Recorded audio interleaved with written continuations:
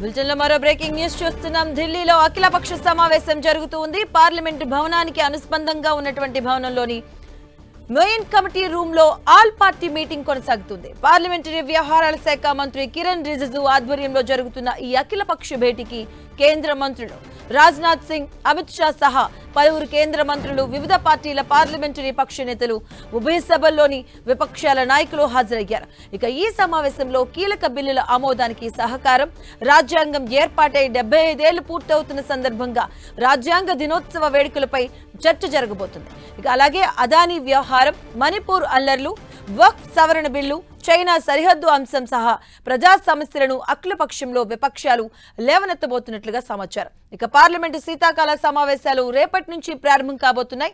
December ఇరవై వరకు కూడా ఈ జరిగే ఈ సమావేశాల్లోనే కేంద్ర ప్రభుత్వం వక్ఫ్ బోర్డు చట్ట సవరణ బిల్లు సహా మొత్తం పదిహేను బిల్లులను ప్రవేశపెట్టే అవకాశం ఉంది.